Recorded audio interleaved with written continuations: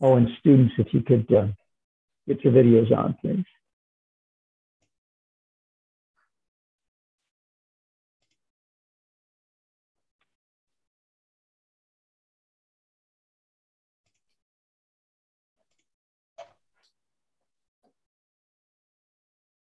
Welcome. This is the, the FRIBIS, the FRIBIS Ethics of Basic Income public seminar. I'm Karl Widerquist. Uh, we will have we will have uh, two speakers uh, today, but we have some we have some sad news uh, that Götz Werner, the founder of this institute, has died, um, and uh, I'm going to have uh, Bernie say a few words about him. Bernie? Yeah, thank you, Karl. Uh, so today it's really a sad day. Yesterday died um, um, Götz Werner, who is the uh, founding father together with uh, Rector Schiewer of the FRIBIS of the Freiburg Institute for Basic Income Studies and even earlier of the Götz Werner Chair of economic policy and constitutional theory. He was a man very interested in uh, the development of basic income ideas in theory and practice. So he is very responsible for the idea, especially in FRIBIS, in combining uh, research with advocates, yeah, and to invite the advocates directly into the university. That's a, a really, really novel side uh, um, in the FRIBIS. And this was uh, um, um, promoted heavily by um, Götz Werner. The second thing is, and to this, Karl here contributes very successfully, is that he always liked to see uh, that we practice teaching and organizing research for young persons. This means for the future of basic income development, not only to have uh, sophisticated mm, old guys like us, but uh, to uh, uh, do a lot for the youth to understand what basic income is and how it could uh, uh, support societal and social development. So um, um, it's, it's a clear, clear um, uh, problem that we don't have him uh, uh, with us now. And I hope that we will be um, successful to develop basic income ideas yeah, with the background of Götz Werner. Okay. All right, thank you. Thank you, Bernie. All right. Now I would like to uh, bring on Louise Haagh, our first, our first speaker. Uh, Louise Haagh is a, a professor of philosophy at the University of York in uh, York, in the United Kingdom. Uh, and she is, um, she is a long time leader in, uh, in, in writing and organizing for basic income. She's written several books and articles on topic over, of course, of course, in years. Uh, very prolific author, and she has um, also been the chair and co-chair of the Basic Income Earth Network for uh, for quite for quite a while, and just stepped down a year or two ago. So this is Louise Haagh. Okay, well, thank you very much, uh, Karl, and the Institute for inviting me uh, to the seminar series. I'm really honored to be able to speak to you all. So I'm aware that uh, as part of the seminar, uh, um, we chose an article that I wrote quite a long time ago in 2007, um, and I don't know how many of you uh, have, have read it, but a lot of what I'm going to say today refers to that uh, article and the thoughts I had then. And so there's a little bit of a historical perspective in that sense uh, in my talk, because I'm going to also provide the context for, for what I was thinking then, and, and, and we can be, perhaps discuss uh, to what extent it's still relevant. Um, so I'm going to kick off with a couple of caveats just to put that article we're looking at in, in context. Um, so the article that that's the basis of my talk, it was uh, written in 2007. Some time ago, uh, I was asked to contribute to the first issue of a new journal on philosophical economics, and loosely around uh, development ethics. Uh, and it was a it's a bit of a spontaneous uh, thought piece uh, at the time. Um, our work has moved on into some more formal propositions and uh, a political development theory around the relation between developmental freedom, democracy, and the state, which is the subject of some of the books I'm currently writing.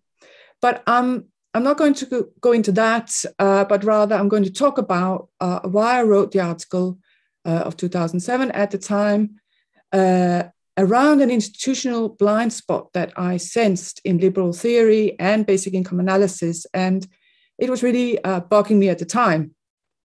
And of course, one has to bear in mind here that I'm primarily a comparative political economist who works around and, and teaches development and applied ethics in development.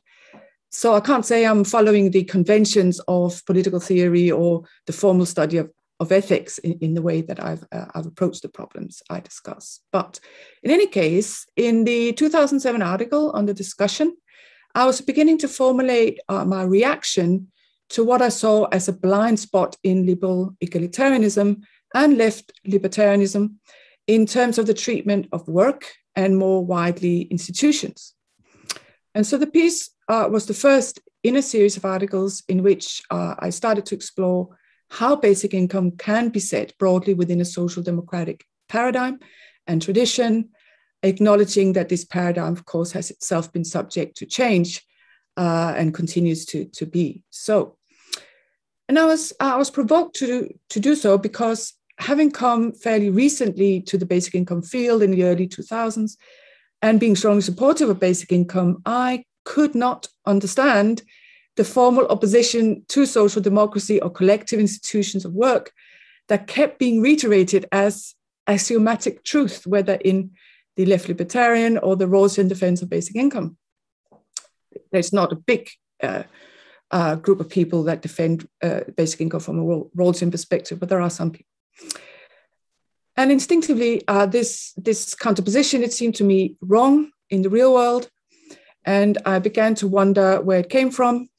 And I concluded that it came from a certain type of commitment to liberal neutrality that generally taints the collective as coercive. And I thought this really had to be dealt with, uh, investigated. So, as I said, the debate and my own thinking uh, has moved on a bit since then, but in many ways, the problems I talked about then have, to my mind, only become more pertinent as the basic income movement has gained ground in what we can describe as a very constrained context of neoliberalism and austerity. And so this, this is the context in which, in terms of applied ethics, it really matters, I think, how basic income is presented in relation to other institutions and then some of these conceptual trade offs that I was worried about nearly 15 years ago, in the sense that I think they have become even more real than they were then.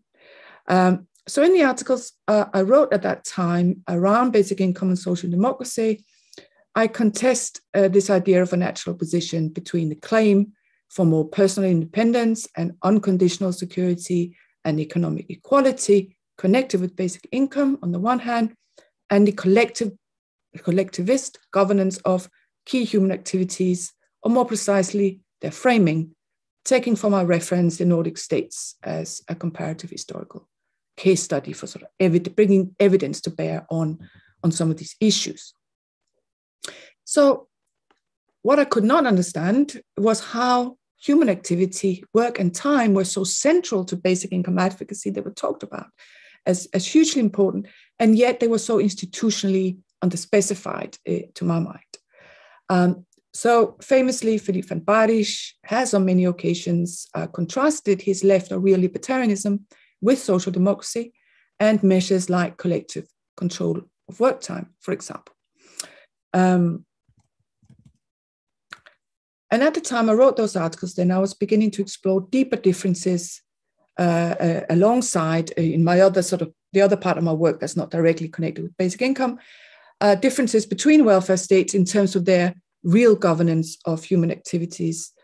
Uh, also central, as I said, in basic income advocacy, uh, linked with our control of time and work and leisure. And what I found was that the collective governance of those activities, at least in Nordic states, comparably with other states, gave individuals overall more control of time. And then that is, I guess, hard to square with the libertarian neutralist arguments for basic income associated with the dominant defense of uh, Van Parijs, which essentially, as I said, associate social democracy with uh, the potential, or if not actual, coercive and restrictive paternalist forms of collective governing of time. And so I found that a, a big part of the problem uh, was just prior assumptions grounded in different scholarly traditions that uh, from my tradition, much more to do with how institutions actually structure society, whether we like it or not, and therefore we need to focus on their design. On the other hand, uh, more in the liberal, liberal egalitarian tradition, articles of faith um, that, uh, in terms of in terms of uh, liberal neutrality and a certain view of it, that frankly just seem to carry over and, and are made true by repetition.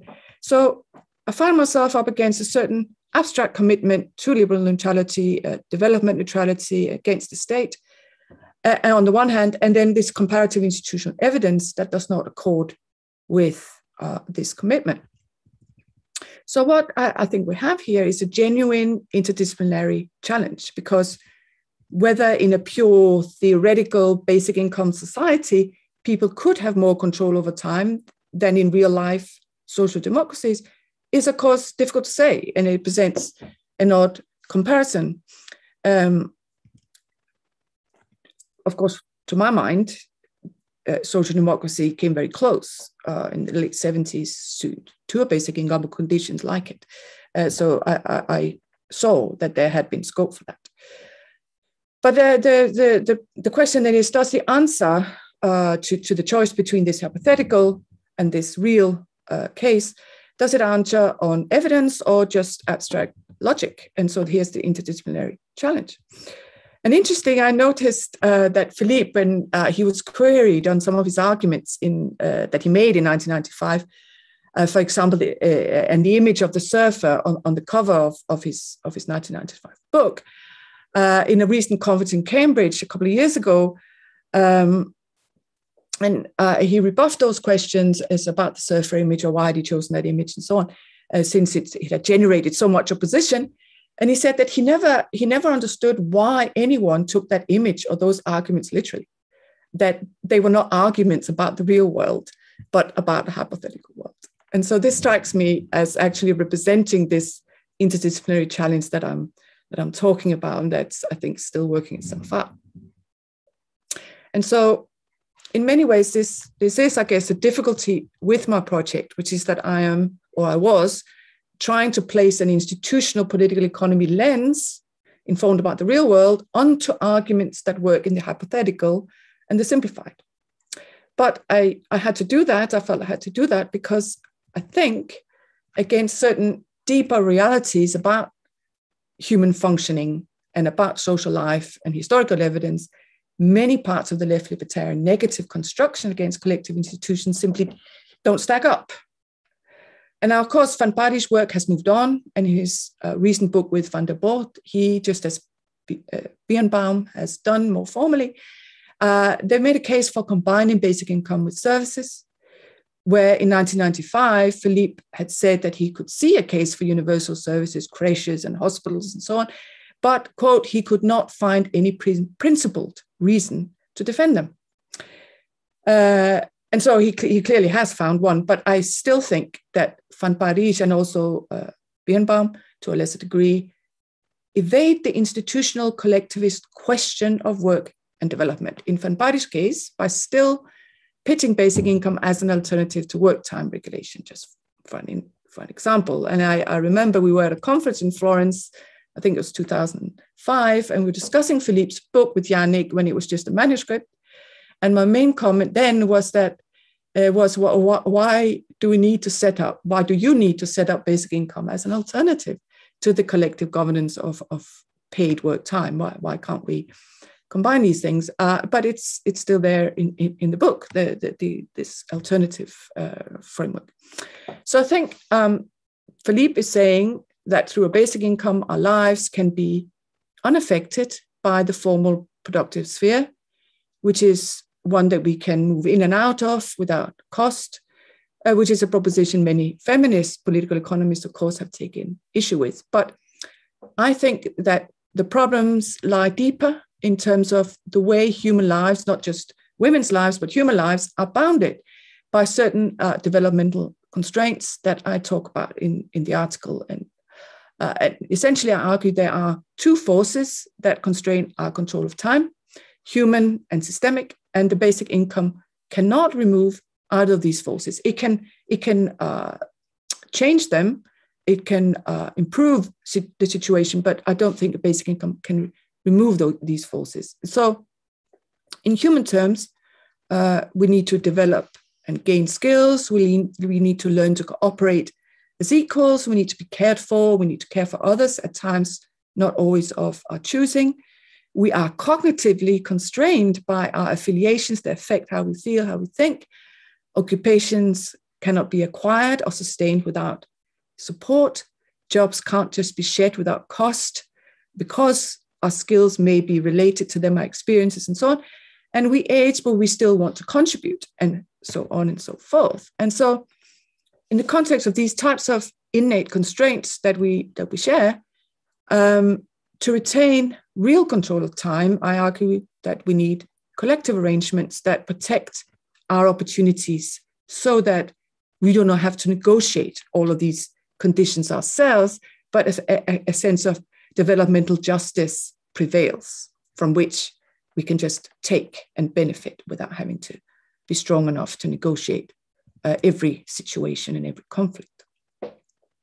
So, my argument is essentially that if we're not proactive about these constraints on our independence and our standing as equals throughout a whole lifetime, then our independence and relatedly our developmental liberties will be compromised through our social interactions, even with the best will in the world.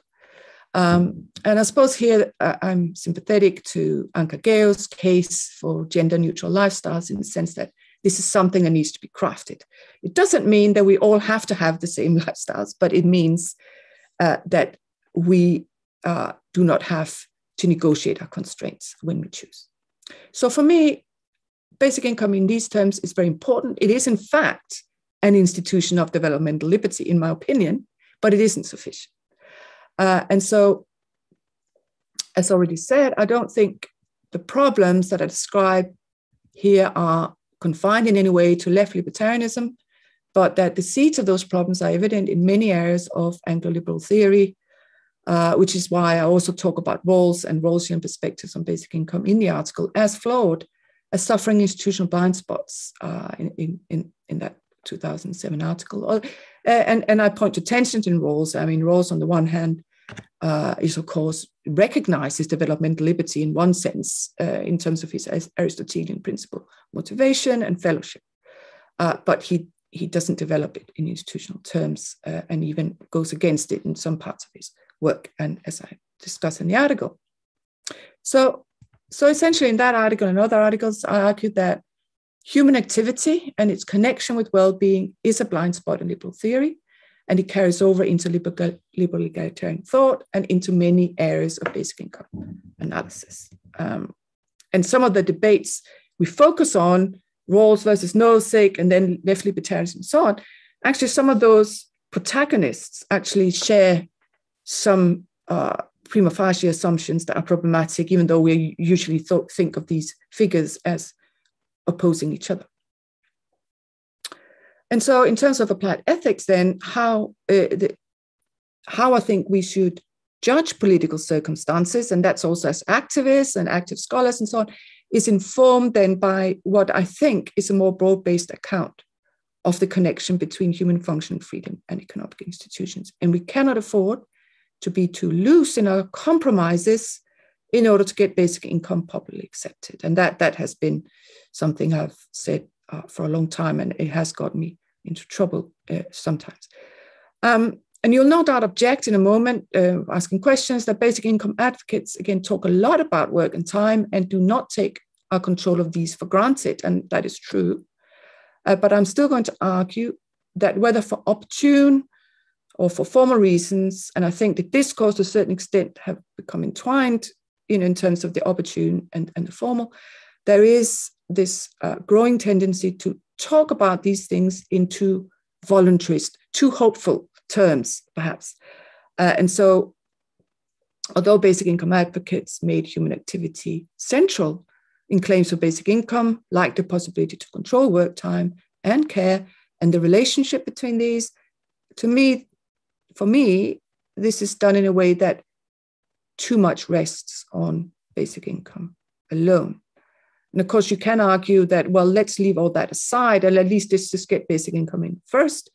Uh, and I, I, I, I, don't disagree with that, uh, but I, I, I, don't. I think we shouldn't wait to, to talk about these problems until that happens. Um, uh, and in particular, I don't think, of course, that this I refer to as mono institutionalization of basic income needs to be an implication of a case for basic income at all. Uh, and that making it an implication has serious pitfalls uh, then in reality. And so in that article, then I wanted to clarify what an alternative case for basic income uh, in terms of control of activities that does take real structural constraints into account might look like. And I counterpose that then to what we might call the more singular case and in the broadest terms, a singular case, I think there are many manifestations of that, but it's one in which basic income is central within the social and economic system or, or is sufficient in, in, in any case. Uh, and uh, I think sometimes singularity is mild, it's just a case of a focus of activism that has become issue based against certain constraints and opportunities. Uh, and so that's at the level of discourse and action. Um, uh, in a recent article, I also argue, incidentally, that singularity and a compensatory focus in basic income analysis has roots, very deep roots in Anglo-liberal history in terms of reaction to high inequality. Uh, Karl, of course, has argued that uh, it is notable that basic income enters the scene when there's a crisis, when high inequality becomes politicized. And I, I think that's not an accident. In other cases uh, that I'm, I'm interested in, in the article, uh, uh, singularity is a theoretical proposition. It's not just a political phenomenon, uh, analytical one. Um, and so, an example of that that I already might have hinted at is that is when political theories talk about what a basic income society might look like. When, to my mind, from an institutional perspective, this is a false construction. So, basic income is an institution, and it's an important one, but it's not an institution that can define a society per se per se, because there's just too much else going on. Okay.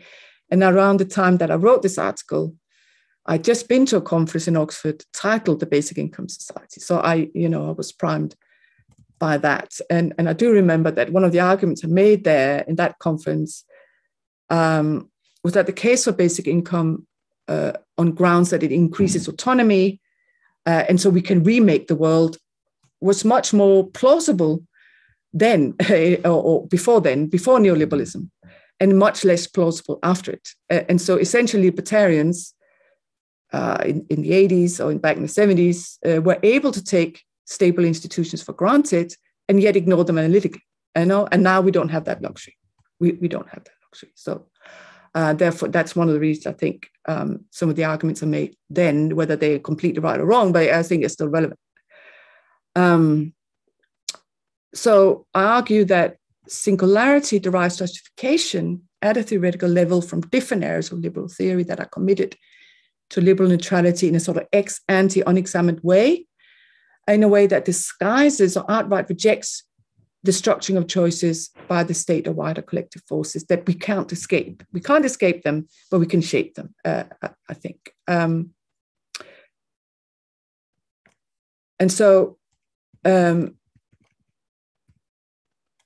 to make my critique and also highlight the sort of shape of an alternative, more broad based case for basic income in institutional terms, I made the proposition in the article for what I called a developmental freedom based welfare governance. And I said that this included basic income, shared welfare, and the promotion of occupational stability not the guarantee, but the promotion of occupational stability uh, by society. So I suppose I was anticipating the addition of, of universal services that was then has now become axiomatic, uh, but I, I, I, still think it isn't enough.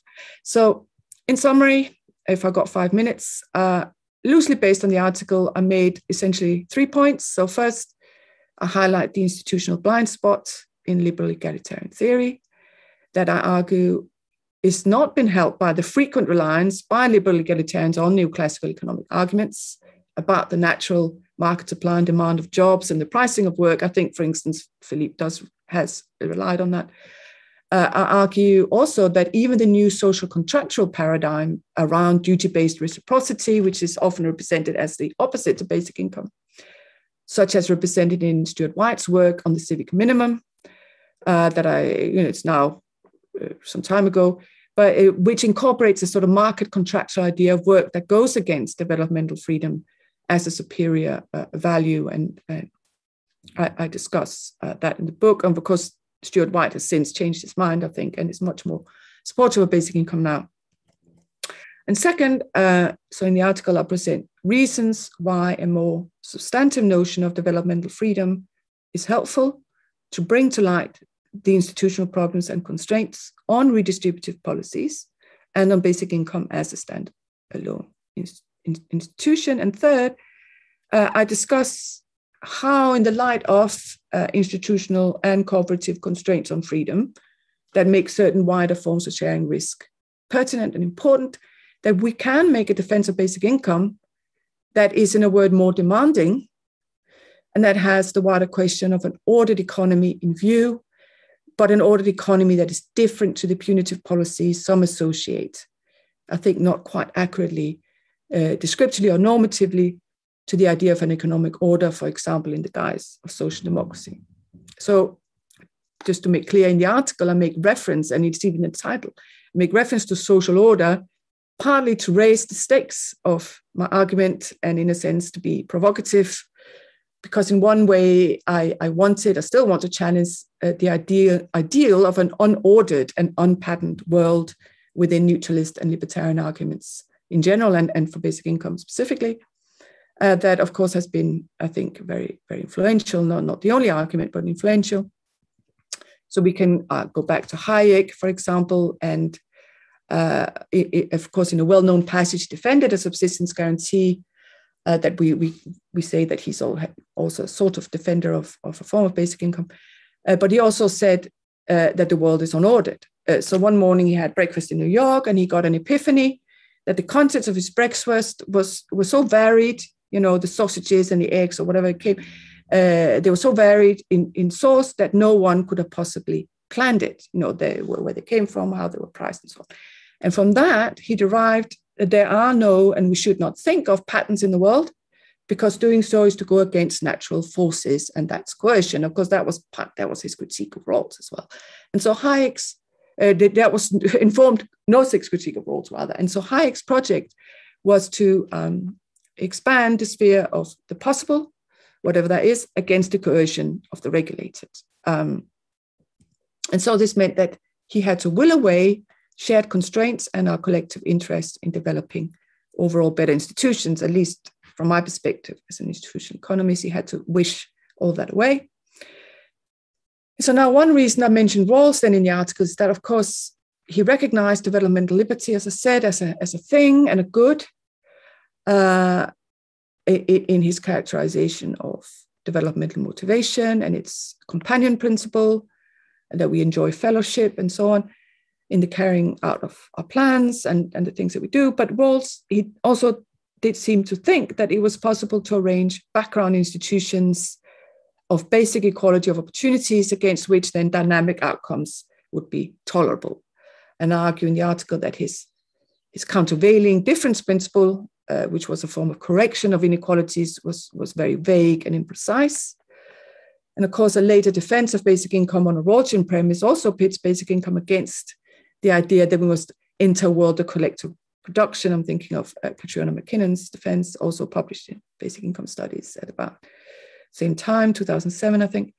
Now, I think Van Parijs performed a trick by saying that the difference principle could be read in terms of entitlement to leisure, then which would justify basic income terms that Rawls could recognize.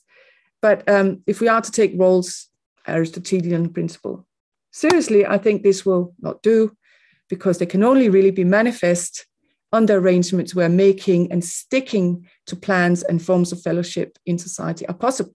And again, a basic income isn't enough for that.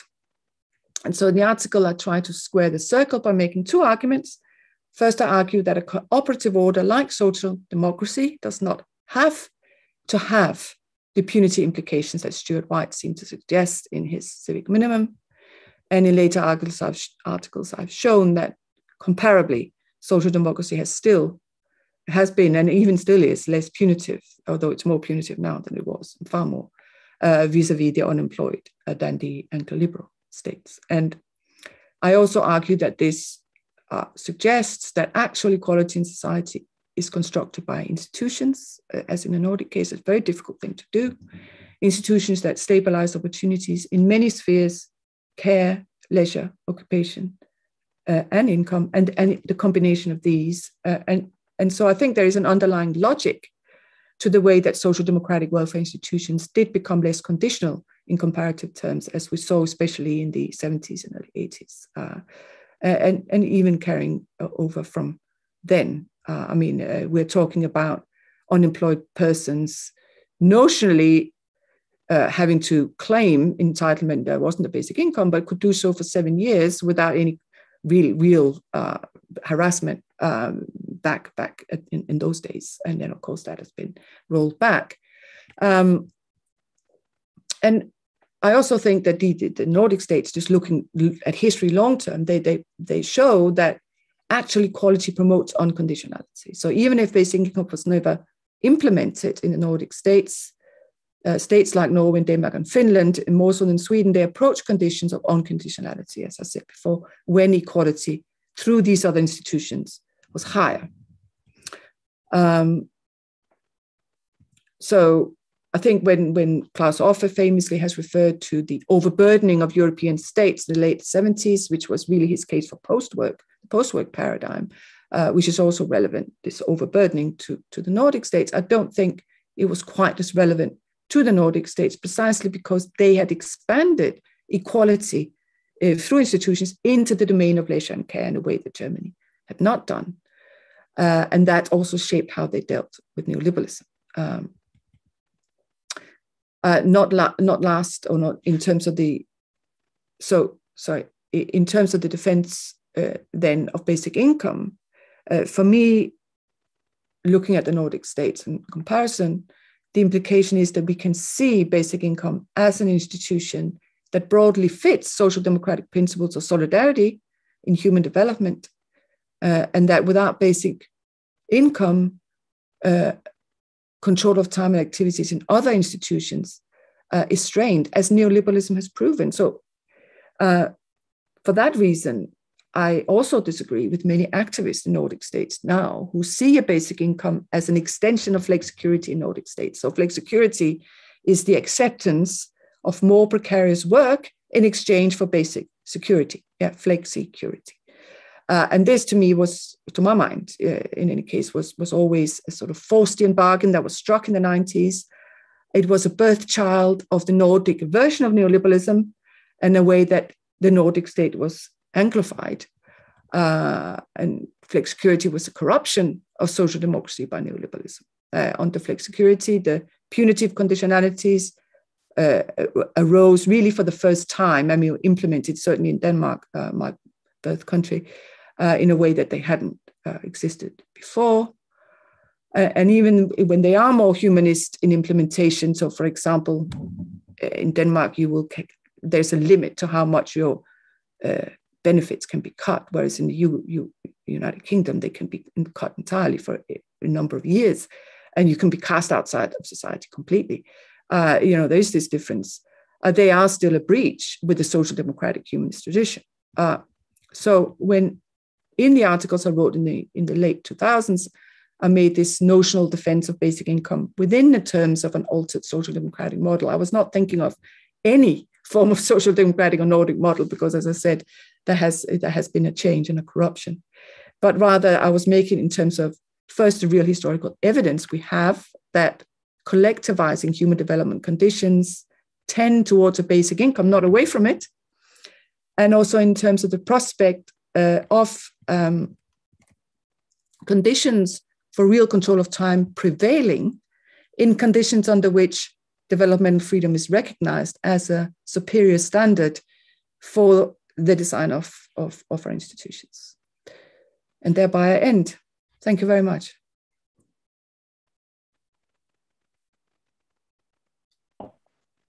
Thanks, Louise. Thanks a lot. Uh, we have uh, some students who are ready to respond. Uh, Jui, are you ready?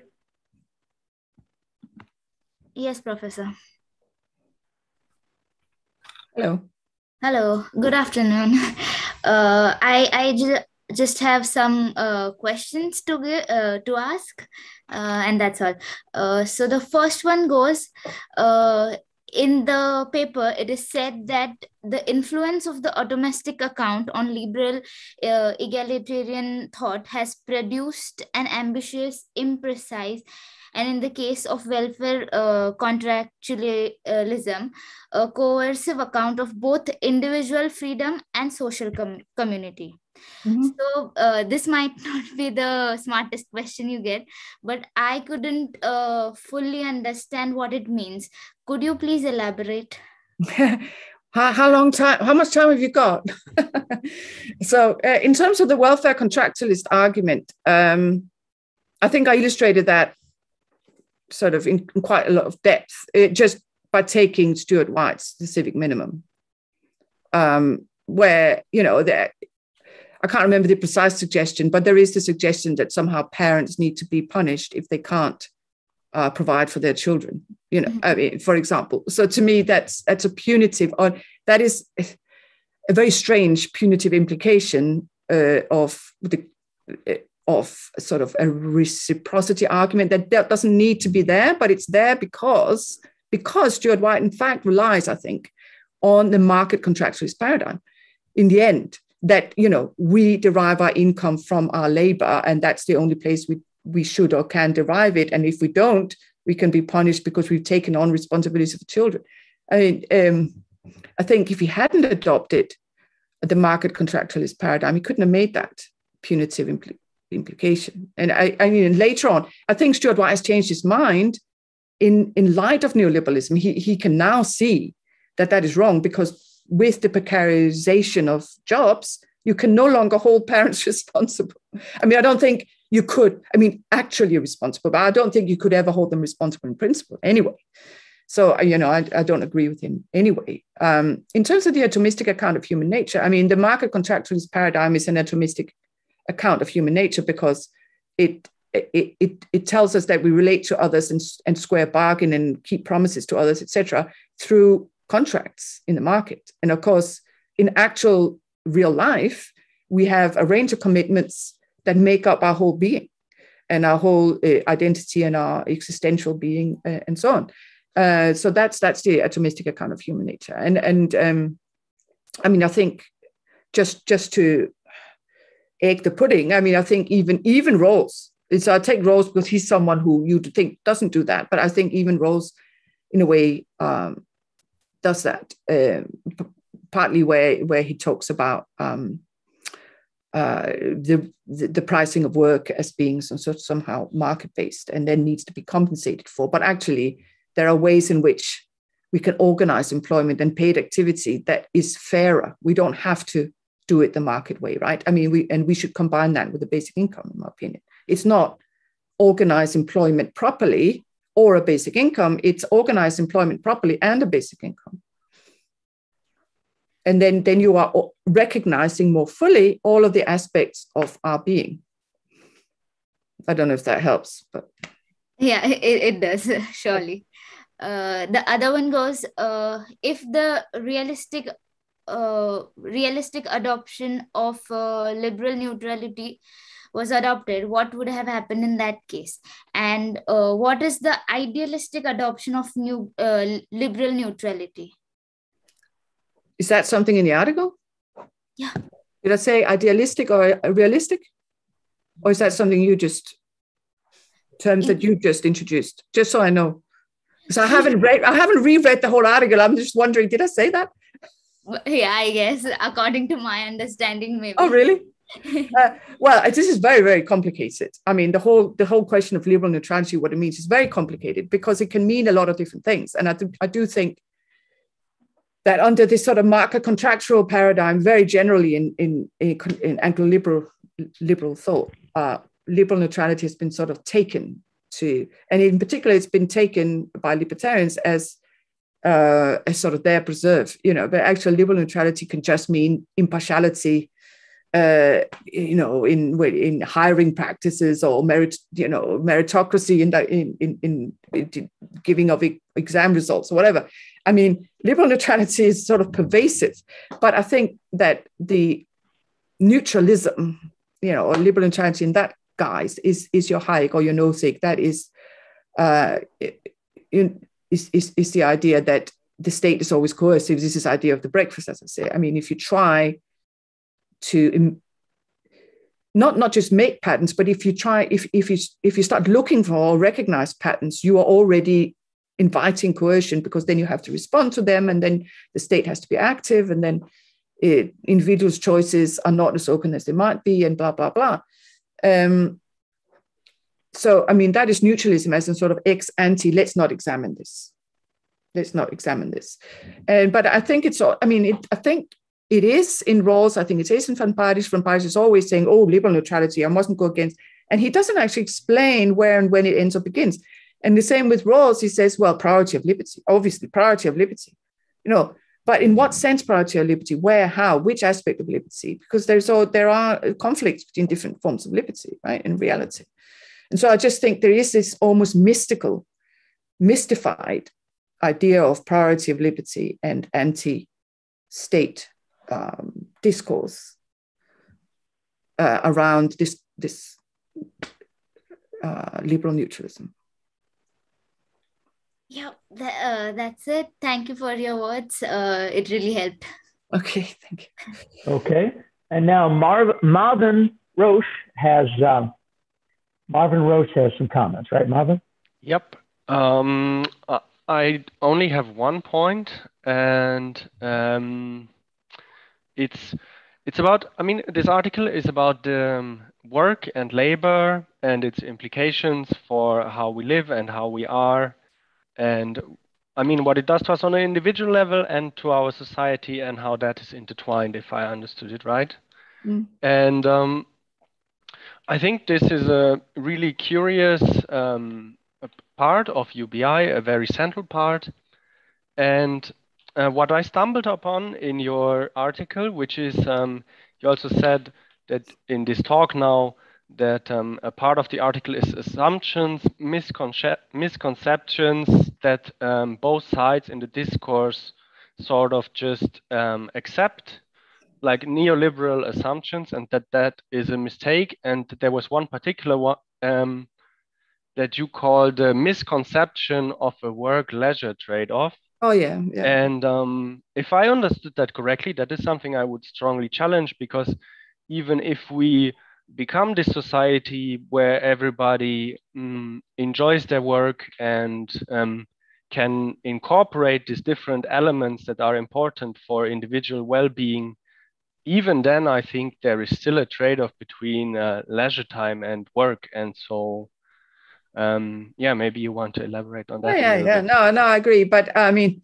this is again, theories appropriate words, and then they become to mean they, they come to mean what those theories defined them to mean. So, I mean, the, leisure work trade-off uh, really in, in applied in applied economics, in applied ethics and neoliberal theory means something specific.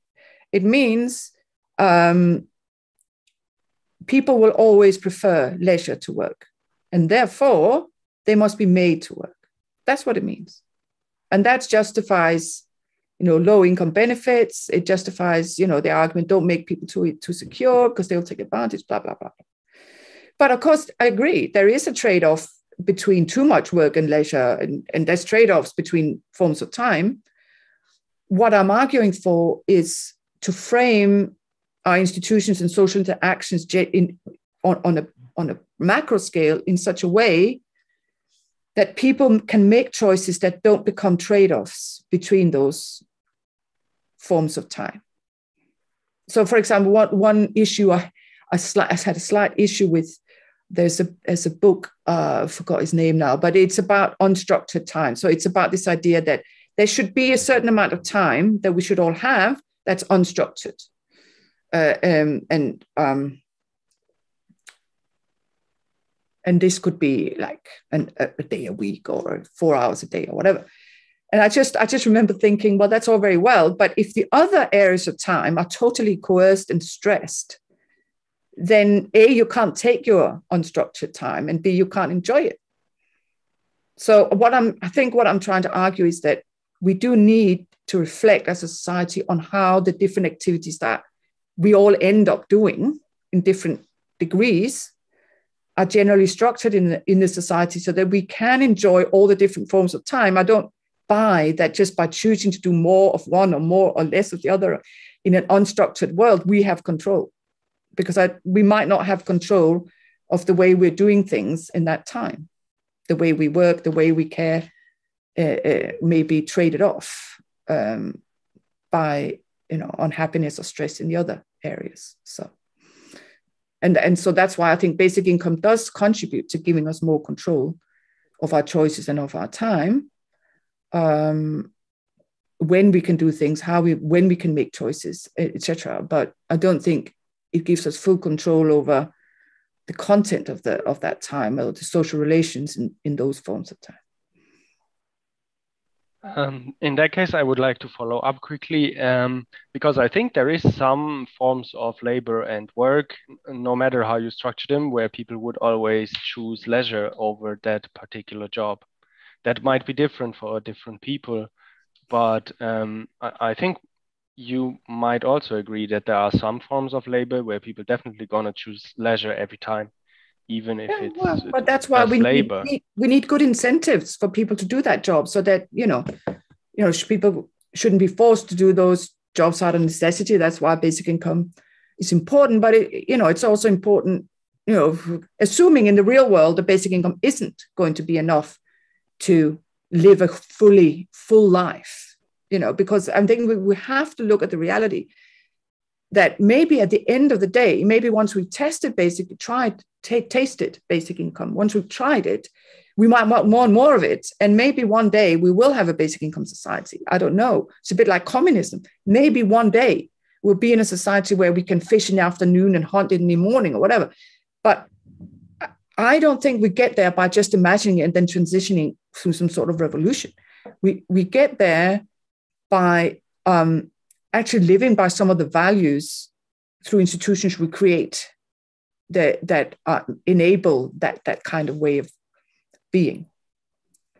Um, I don't know if that answers your question. I can't remember what your what you go. Oh yeah, so there's always going to be things we don't want to do. Yeah, well, I mean, as far as possible, we should not compel people to do things. So we should use incentives, and so that's that's why I still think that organizing work and paying people properly or thinking about how people can be made incentivized to do things is important. We can't just leave it to the market.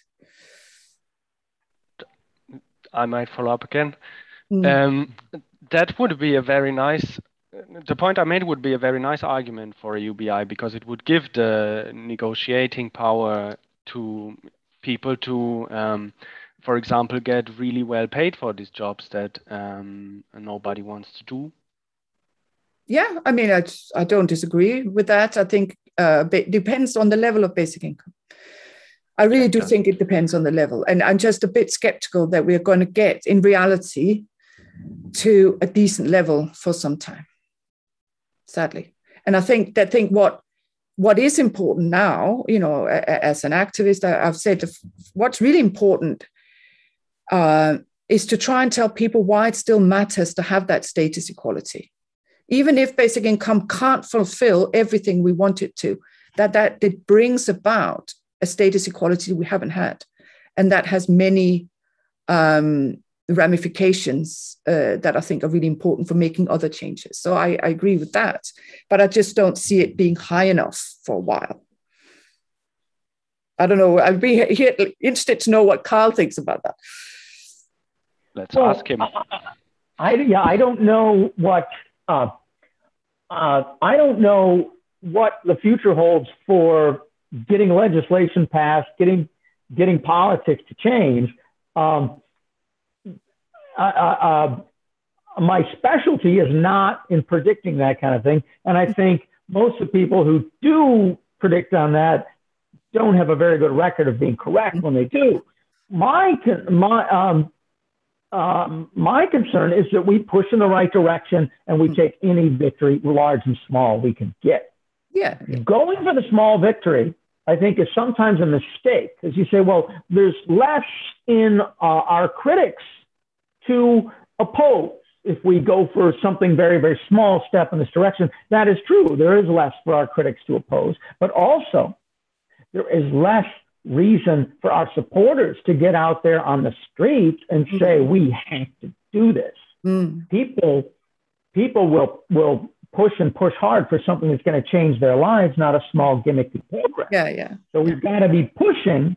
Mm. We've got to be pushing for this. But I do believe we've got to be pushing for the full full thing. But sadly, we'll probably have to compromise along the way and start out with some smaller things. Yeah, yeah. Um, and you got to take heart in a in a daily victory. We've had too many defeats.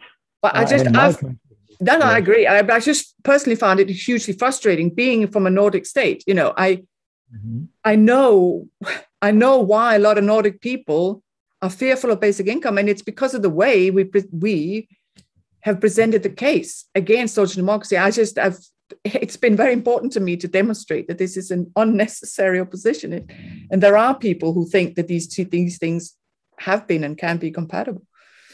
Mm-hmm. Okay, I have uh, Dritan with his hand up. Go ahead, Dritan. Okay. Uh, uh, thank you. And good afternoon, everybody. Uh, well, uh, you mentioned uh, incentives, and uh, you know th that's some kind of nudging from from the government. Yeah, and from this point of view, I guess we are teaching people preferences and not uh, abilities uh, to correctly assess the risks and estimate uh, the probability from an unfortunate event and the policy implications that come out of it. So um, we may uh, make people more parasitic and uh, put them in a in a situation where they expect uh, that government would lead them towards a particular way. I totally disagree with you. Well, thank you for your question. yeah, yeah, well, yeah, that was. Uh, uh, I needed some clarif- clarification on that. Well, I mean, I, I, just, I just don't think. First of all, I don't think there's any evidence for that. So, you know, this is really important. I mean, if we take the Nordic states, yeah, as as you know, that they would be your cl- classic parasites, then, right? I mean, the Nordic population would be your classic parasites. But you know, if, if you look at public opinion or values in those states, they are the least conformist. You know, so, so there's, there's really very little evidence that more security, more collectivist uh, action make people conformist. It may make people, it, it, may, it may make people buy into these collective goods. But in terms of the range of interests or ideas or you know, that people have or the, the, the, the values that they hold, we, we don't, uh, we, we, we, don't see that. And, and in terms of whether people work, um, I think as a survey was done and, uh, on, on work values, there was 0.02% that said that they wouldn't bother to work if, if they had, you know, security. It's just the, so the evidence isn't there. But I mean, the other thing that's problematic from what you're saying is it assumes that we can teach people to assess risks and probabilities in the marketplace in the bigger society. Of course, we can't teach something that people can't do ever. So to me, that's a completely red herring. I mean, and in any case, um, it's also false that the more we marketize, you know, um, the more open our possibilities become. I mean, look at the stock market, right? How many people are there? How many people participate there? And, and how many people understand the risks and probabilities there? So a it's totally hierarchical and b it's totally opaque and so our society uh, we as citizens need structured information, but not, not from a mono state, but you know, from a very vibrant, pluralistic, uh, research-based, politically active society. But that's not what you get in a market context. There, you just get less information, complete opaqueness, and this very idea that nothing is nothing can be planned or organized in the world, which is, you know, it's frankly dangerous. It's an anti-scientific proposition. Okay, uh, Bernie, you're next. Yeah, thank you for a very interesting contribution, Louise. I have only a, a very, very short comments. First of all, I uh, looked at my manuscripts when I taught, yeah, in my basic income lecture for the last time, the aspect of punitive justice. Yeah, I was very inspired by you to uh, teach that one once again because it's more than five or six years, yeah, away. And the reason for that is that no one was interested in the punitive justice of basic income. Yeah, it's a it's a lost gimmick. I do not know why, but it is very important. And you uh, um, presented here some ideas about how to uh, put this again into the logic. A second concerning the Nordic model, and uh, that what I call uh, as we do it in Germany, the German market economy approach is, from our point of view, the Nordic model seems to be more cooperative, living together, whereas in Germany, we believe strictly in the competitive economy. Mm. And concerning the competitive economy means that we have to believe more in labor income, in market income, than in other kinds of income. So therefore, because I'm an ordoliberalist. I was also very near by Hayek um, and uh, many others here in the Freiburg tradition. I completely left that argument when I, and that's important for me, inspected basic income more heavily, yeah, that you see that competition is uh, what we could say the macho organization, the male version of the economy, and if we add to this care, yeah, care economy, then we have a more female institutional idea about what work really is. And therefore, no wonder why in Germany the care economy is, on the one hand, very expensive, but on the other hand, clearly underdeveloped.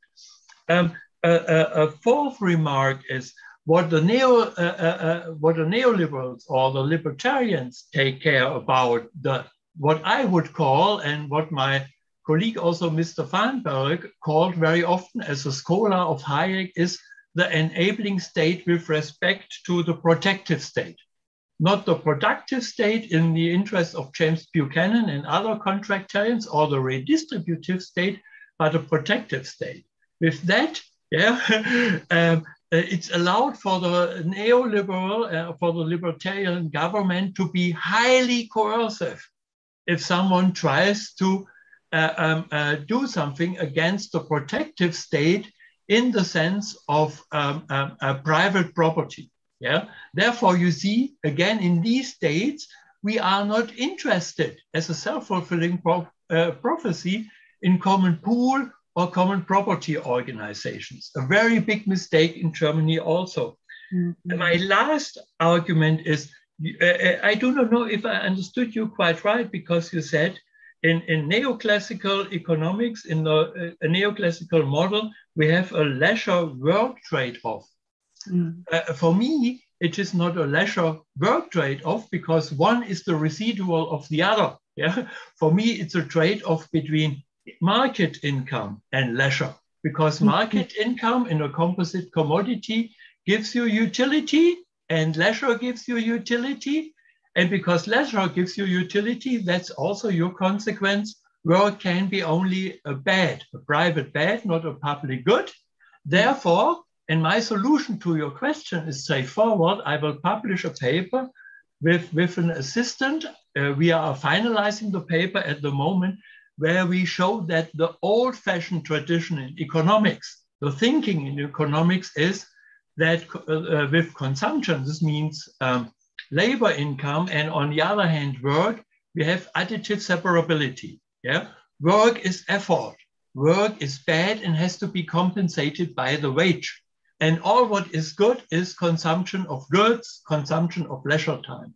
In our model, we switch to multiplicative. That's what we call time sovereign, multiplicative uh, uh, combination of um, labor time, unearned work, and creative leisure time. And then uh, the world totally changed. So my argument is it is a very important part of basic income that it socializes individuals towards more control, individual control of time towards time sovereignty. One interesting, my last argument on that, one interesting aspect is in our model that we can show that some tax bases, yeah, uh, uh, don't show the Laffer curve anymore.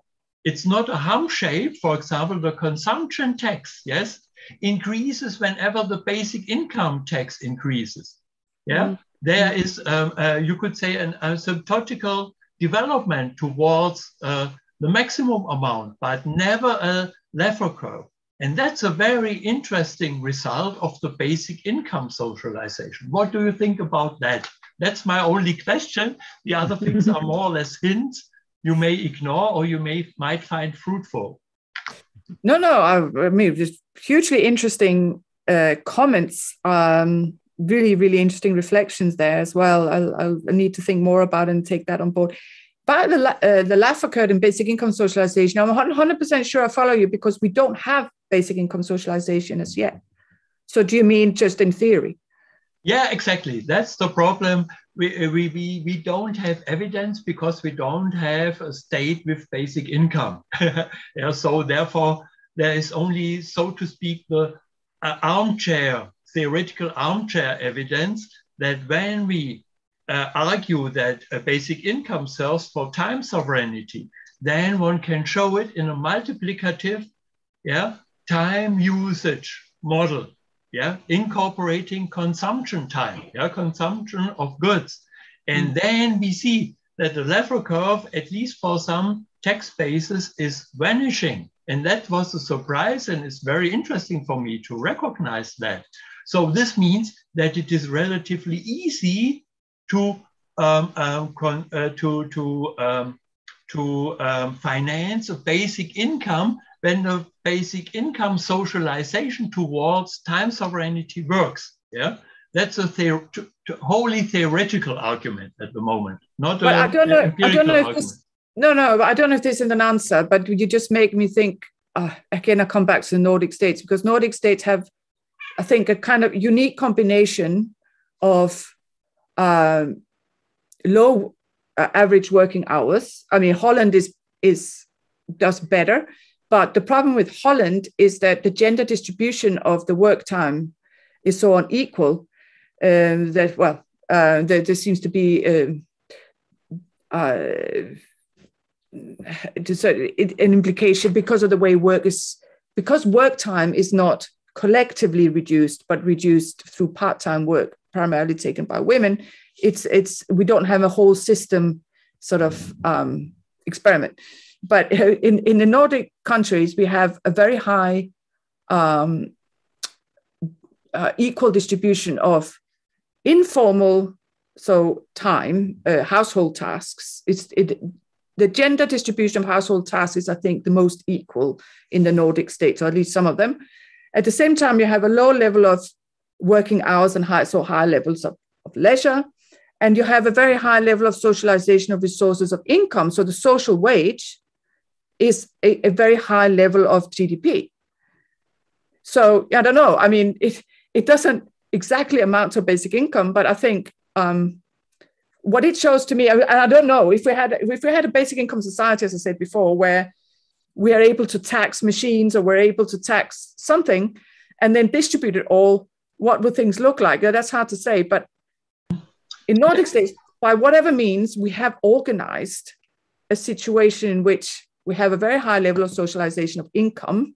It might not be just in the in the you know redistributive income, but also because um, the way in which income is distributed through the tax system is more egalitarian and so on and so forth. Um, so we have a situation that that could resemble the situation you're talking about. Does that make sense? I'm not. Oh, I'm not yeah, yeah. I think a very interesting hint for me to see if I can uh, uh, draw from that some um, um, some empirical evidence. Thank Sure. you very much. That's very important. But just to mention Ugo Colombino, uh, he made some uh, estimates about which countries could afford a basic income. Oh, thank you very much. I stay in touch with Ugo. Thank you. Yeah, I did never minded this. So thank you. Okay. Okay, Louise, thank you very much. Uh, this ends uh, the, the seminar with Louise. We'll now take a five minute break uh, and resume before 11, uh, b- before uh, 5.15 for Otto Lehto. Uh, thanks a lot, Louise, and see you all in five minutes. Karl? Oh, Yes, are you, are you still on, Karl? Yes. Yeah, the recording is off, but you're on. Now, I was just going to say, I, I would like to stay and listen to some of Otto's presentation, but I will have to leave in the middle. It's not because I, I it's boring or you, you just have to go and pick up my son. So, Okay. uh, Okay, Yeah, yeah, thanks for sticking around. okay.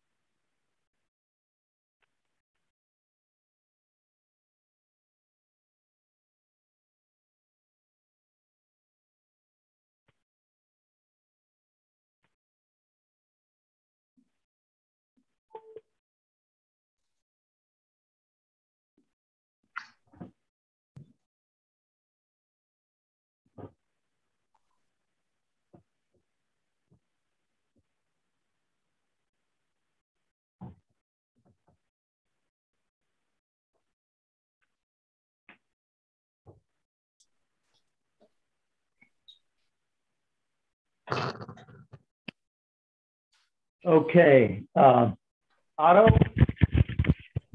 are you there? Here I am. Okay, great. Um, and you know how to share your screen when you need to put that table up. Yeah, yeah. Okay, so uh, we are going to start again. Uh, do you need to signal me, Tobias, or are we uh, good to go? Sorry, what did you say? Uh, do you need to signal me to start again, or, or, or we're fine on the? No, we can start. We can start. We're still online. Okay. Okay, great. All right, I'll start my recording again. Okay, welcome back, everybody. We're running a little bit behind, but we have our next speaker ready to go. Um, Otto, Otto is a former guest scholar here at uh, the Götz Werner Chair and at uh, the Freiburg Institute of Basic Income Studies. He has now uh, moved on to take up another guest position in the United States and comes to us from there right now. He's going to speak on libertarian perspectives on basic income. Go ahead, Otto. Well, thank you very much. And yes, indeed, it's good to see some of you. Um, some of you for the first time, others for uh, for for another time. Uh, but I today I want to provide kind of an overview of potential arguments for basic income from the libertarian point of view. And of course, to do that in 20 minutes is not quite possible due to the rich diversity of views within this, what I consider to be a family tree of, of uh, positions and arguments and ideologies. And indeed, what I want to emphasize today is this diversity and to sparse it out because as an analytical philosopher i like to make categories and i like to uh, distinguish between useful um, lines or useful divisions and i think within the libertarian family, there are some useful divisions that will also, I think, be useful for students to think about in terms of differentiating arguments for and against basic income. Um, but I think the first thing to do, if I can actually, um, uh, because inspired by by Louise's very interesting talk, um, I would like to share just one um, uh, screen here. So this is um, this is the um, Economic Freedom Index of 2021. Um, and so, of course, at the top, you have usual suspects like Singapore, New Zealand, and Australia. But if you go a bit further down, you will see that, you know, countries like Denmark, Iceland, or my own country, Finland, are very high up on the list. So, in some ways, you know, you could say this is the result of the neoliberalization, if you will, uh, and you can debate the effects of it. But it, it, it is true that so-called Nordic model has also changed a lot throughout the years. And in fact, um, many of the Nordic countries are more libertarian in the economic sense than, for example, United States. Um, okay, so I think the important thing here is to is to do some divisions, like I said. So let's so the the structure of my talk today will be first, I will give sort of an overview of what is a libertarian argument for basic income. Then I will um, discuss two types, primary types of libertarian arguments. First, rights based arguments, sometimes called deontological arguments. And then the consequentialist arguments or arguments that focus on the consequences of different institutions and rights um, and especially utilitarian type arguments that focus on the welfare consequences of different rights, including the rights to freedom, extensive freedom. Um, okay, and so let me begin by going through kind of what I consider to be the definition of a libertarian argument. I mean, I think first thing to realize is basically anybody can make use, and, and many people do make use of libertarian arguments. So, for example, Guy Standing, a very famous uh, basic income researcher who also presented here uh, as part of this uh, seminar uh, earlier, uses a lot of freedom based arguments. Um, he argues that basic income advances the freedom of poor people. Um, but at the same time, I, I wouldn't consider, I wouldn't call himself, uh, call him a, a, libertarian because he, when the push comes to shove, um, put some other moral values such as equality or fairness above the maximization of personal, social, and market freedom. So I think only if someone systematically prioritizes libertarian arguments over competing arguments, and if one systematically prioritizes the value of liberty over most or all other competing values, uh, whatever the reasons for doing so, can be called a libertarian, or as I would also um, prefer to call them, radical liberal. So I think a radical liberal is someone um, who is a who is a libertarian um, uh, in this broad category of, of, of, of, of terms. And of course, you have kind of mixed forms. You can have people who are a little bit socialist, a little bit libertarian, people who are a little, little bit conservative, a little bit libertarian. But I think it's um, those those mixed forms um, are not what I'm concerned about here. So I think libertarian is a radical liberal, someone who holds liberty as the highest moral, political, and or economic value. Um, so I, I, don't think that libertarianism should be reduced to this sort of caricature form of someone who thinks that taxation is theft and therefore um, there's no rule rule for redistribution. It's it's perfectly possible to be a libertarian and and be more of a moderate libertarian and think that there is some room for redistribution as long as one prioritizes liberty as uh, as the most or one of the most important values um, in the in the ordering of values. So I think at minimum, a libertarian is someone who both in the realm of, of private social actions, that is people's lifestyle choices and so on, and in their economic actions and choices, uh, supports widespread freedom for all people equally. So at the minimum, a libertarian supports widespread individual freedom, support for uh, voluntary contractual arrangements, um, markets, private property rights, opposition to arbitrary and tyrannical government power, and so on. So these are kind of the, the basic building blocks of what constitutes a libertarian argument or a libertarian um, person. Okay. So originally, the word libertarian actually originated in, I think, France and certainly in the European circles of left-wing anarchism. But in the 20th century, it became associated with the with the more sort of um, uh, United States notion of um, of uh, especially right wing libertarianism. Um, but it has since become sort of associated with any any form of this radical liberalism. But in Europe, libertarians are still often better called liberals, and indeed many liberal parties and liberal institutes. And I think that's that's the more appropriate term to use in many European contexts. Um, and so um, libertarians, in this sense, can be uh, differentiated from some other types of liberals with prefixes like classical liberal or market liberal or even conservative liberal, although I think the latter of those is not very helpful. Um, so, and in politics, like I said, uh, the, the spreading of ideas of uh, support for individual freedom, support for limited government markets, private property rights, and opposition to discretionary and arbitrary government power can fit into various forms. And you know, uh, people like Ronald Reagan and Margaret Thatcher have been called like libertarian, but you know, they many ways were not particularly libertarian. For example, in their social views, they advocated for rather conservative positions. So they are best categorized as this mixed form of libertarian uh, conservatives or conservative libertarians. Um, in the same way, in the Nordic countries, we have uh, kind of social, social liberal or social democratic um, libertarians, if you will, who are who are willing to combine extensive market freedom with uh, with uh, with some form of, uh, of of a limited welfare state. So, in the family tree of libertarianism, um, there are also so just to preface my my my my um, my division here. Although I divide the libertarian arguments into rights-based arguments on the one hand and consequentialist arguments on the other hand, I, there is also the field of um, or the or the category of contractarian or social contract arguments, of which James Buchanan's demoktesis model is um, a good example. But I have discussed that elsewhere, and if you are interested in the contractarian side of libertarianism, I highly recommend that you um, go look at my lectures for FRIBIS on this topic of Buchanan's demoktesis. So I will leave that aside and focus today on the rights-based arguments and consequentialist arguments.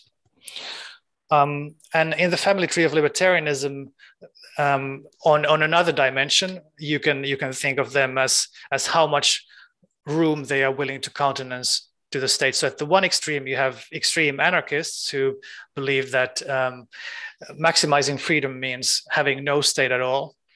Um, moving a little bit towards um, support for the state, you have the so-called minimal state theorists or night watchman state libertarians, such as Robert Nozick and Murray Rothbard, um, for whom there is, uh, there is a case for a minimal state that protects private property rights, um, supports uh, the courts and the police and the army, but otherwise does not engage in redistribution.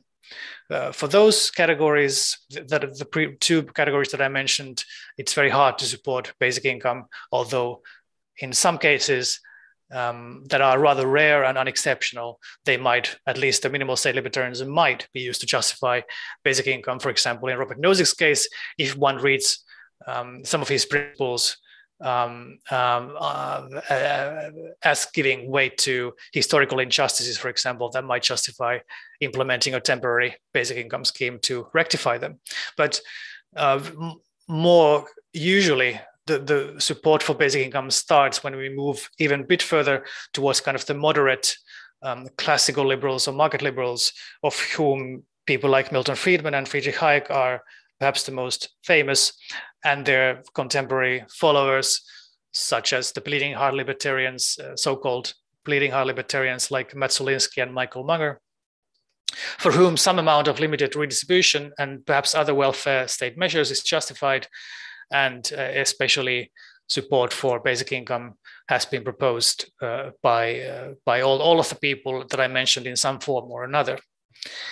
And then, of course, you have um, people like, well, Karl Widerquist and um, and people like that who are on the associated broadly with the with the sort of left libertarian side of the argument or on the margins of it, at the borders of it. Um, you have people like Henry George, Hillel Steiner, Philippe van Parijs and Karl Widerquist, um, who based their arguments on the value of, of liberty and the compensation for the liberty lost in uh, in the institution of the private property system, but who otherwise support uh, wide scale uh, individual freedom for people.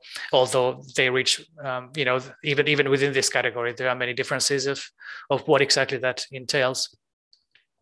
So um, let me now turn to the rights-based libertarian arguments. Um, so again, I, I, want to emphasize that I'm not providing here my view, although that, that was that was very tempting to me to say, here is my preferred way. I should perhaps come clear out of the closet and say I am more sympathetic to the consequentialist arguments for widespread individual freedom. And those are the ones that I will discuss the last. But I think also the libertarian arguments for UBI um, can be rather intuitively appealing and worth considering. So I think the prima facie opposition that comes from right-based libertarianism to basic income can be easily understood if one understands that a right-based libertarian believes that individuals have some rights that cannot be violated for the sake of the collective good or for the sake of the welfare of other people. So in Anarchy, State and Utopia, Robert Nozick famously sets out the prima facie right libertarian case against redistribution when he writes that uh, this is the first sentence of the book. Individuals have rights, and there are no uh, there are things no person or group may do to them without violating those rights. Um, and indeed, he continues, there are only individual people, different individual people with their own individual lives. Using one of those people for the benefit of others uses him and benefits the other. To use a person this way does not sufficiently respect and take account of the fact that he is a separate person, that his is the only life he has. Now, from this, Nozick argues that redistributive taxation is on par with forced labor. Now,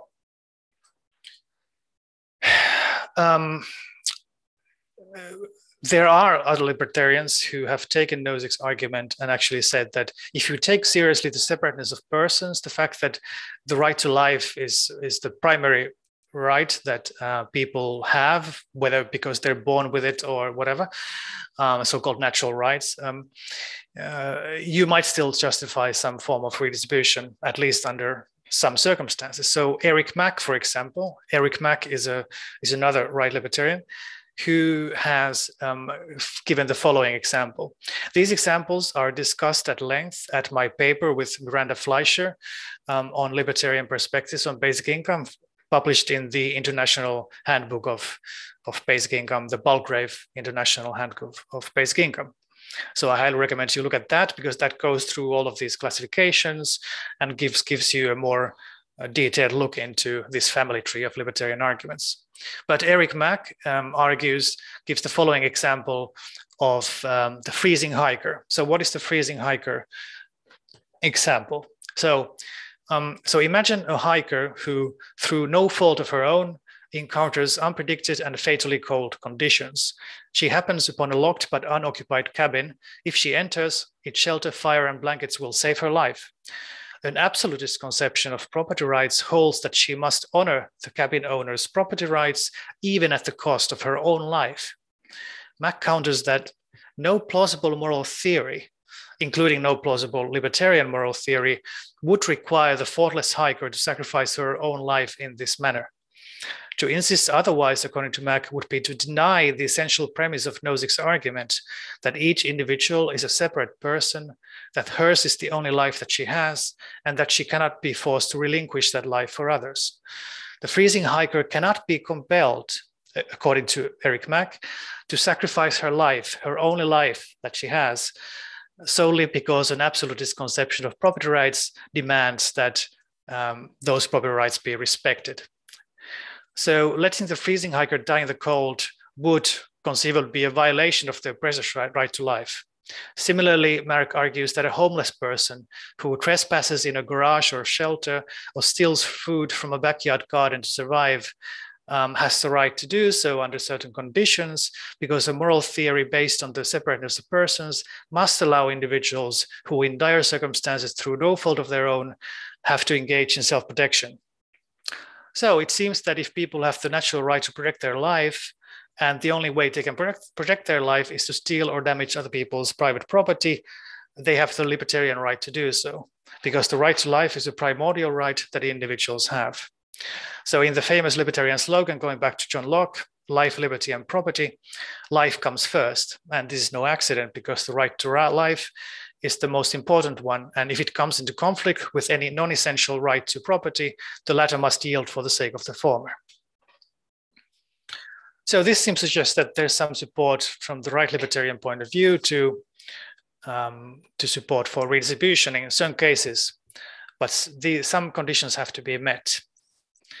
Um, so, for example, it remains unclear if the freezing hiker has the duty to compensate the damages done to the property owner after she has recovered and ceased to be in danger.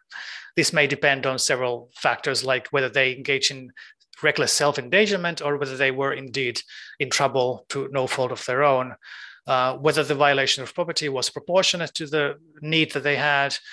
Um, whether compensation would ruin the financial situation of the hiker and a few other factors. Uh, furthermore, in order for this freezing hiker example to generalize to the whole society and to justify a large-scale program of redistribution like basic income, it must be the case that conditions similar to the freezing hiker scenario or the starving beggar scenario are widespread in the society. They cannot be simply isolated examples because then that wouldn't justify a large-scale program like basic income.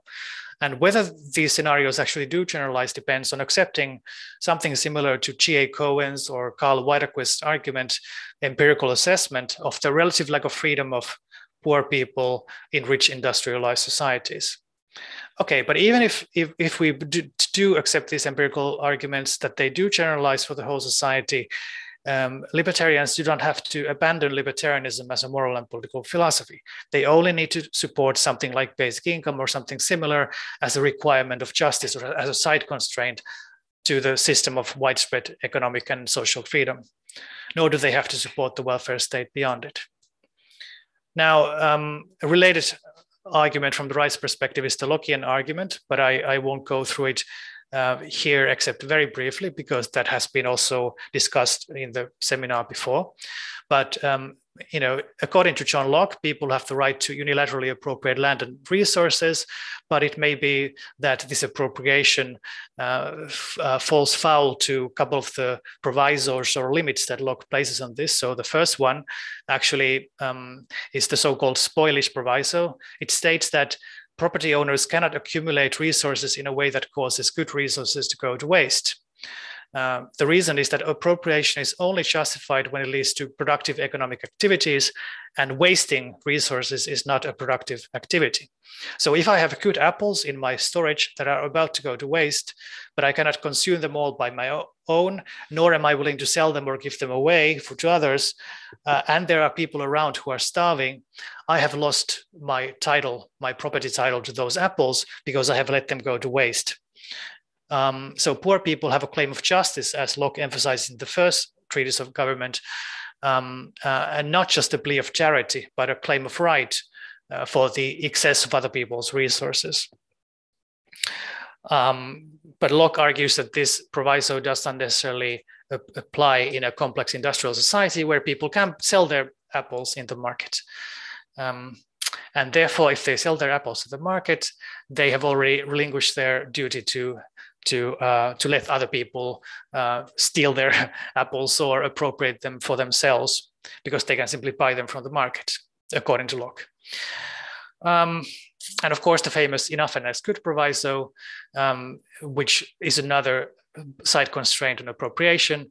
But you know, as people like Karl Widerquist and uh, uh Henry George and others have pointed out, even in by Locke's own standards, uh, this property, this proviso is currently violated all the time. Um, but um, this has all been discussed in the seminar, so I will leave it here, except to say that it seems that the principle of unilateral appropriation without some compensation from purely Lockean grounds can be said to lead to the propertyless effectively becoming served to the landowners, which would be unjustifiable under some circumstances, which might justify something like basic income. Um, and the whole category of left libertarian arguments um, then follow this line of argument and develop it into different directions. Um, so the, the, last of the of the rights arguments that I wish to discuss very briefly is Robert Nozick's argument about historical injustices that I already briefly mentioned earlier. So Nozick argued that uh, people have the right to appropriate on Lockean grounds, but if it can be shown that past appropriation was not legitimate, then the title of all subsequent transactions uh, from that original historical point are not justified. And if we can show that in the past, property was acquired through theft or other illegitimate means, for example, by violating the Lockean provisos, then we can justify current redistribution as a rectifying measure and indeed as a requirement of justice to um, uh, to correct for those historical injustices. Then the, then the empirical question becomes, were those original appropriations done according to justice or were they based on, on theft and thievery and robbery and murder and all those things that you often see in history? Okay, but let me now move to the consequentialist arguments. So the consequentialist libertarian or classical liberal arguments argue that um, a system of widespread individual freedom and limited government um, is can be justified on the basis of the good consequences that they are expected or supposed to have. A good example, or the, perhaps the most influential historically of this, is David Hume's argument and also his friend Adam Smith's argument that um, under certain assumptions, a system of um, private property rights and, and free markets produces great advances in social wealth and also the satisfaction of, of um, consumers. So examples of this are Adam Smith's argument for the invisible hand mechanism of the market in The Wealth of Nations, and also David Hume's argument for the fixed rules of justice in his inquiry concerning the principles of morals. More contemporary examples of this include Hayek's and Friedman's arguments for a free society driven by economic competition, um, and their argument that a system of fixed rules of property can be used to increase social output, put scarce resources into better use, facilitate entrepreneurial innovation, and ultimately consumer and citizen satisfaction. and there are different varieties of this argument. And, and again, this, this is a sub branch of the tree with many different branches, many different varieties. Um, but already David Hume argued in his principles of inquiry concerning the principles of morals that although it seems that fixed rules of property so that everybody sort of has has a good idea of what they own they can make voluntary transactions with others to to to make contracts to to to um, to improve their lot and to contribute to social welfare. They are good for society but it is obvious that such rules and this is a quote from him um, it is impossible for those rules to prevent all particular hardships or make beneficial consequences result from every individual case. So if we have this kind of abstract system of rules of justice, it's clear that some people will suffer. Adam Smith also argued that, for example, the division of labor and the private property system that supports it produce great uh, increases in wealth and innovation and so on. But you know, it can cause great hardship to individuals, for example, who have to do monotonous work or who, who are engaged in the sort of envy towards the rich or other forms of kind of positional goods pursuit, which are bad for them and bad for society. And so there might be a case for remedying those issues uh, because what we are concerned about from the consequentialist point of view are the consequences of, of, uh, of our policies and our actions. Uh, so Hume did not advocate for systematic compensation. Um, Adam Smith uh, argued for some forms of, uh, of support for public goods and for, uh, for education and a few other uh, um, areas of, of, like, of support from the government, but not for basic income or anything close to it. But more contemporary thinkers like Hayek and Friedman have argued for something similar to basic income or negative income tax in, in Friedman's case. Uh, for somewhat similar reasons. They argue that social flourishing, social flourishing or long-term social welfare is best guaranteed under a system of fixed rules of private property rights and free markets and so on, although with some room also for various public regulations and services.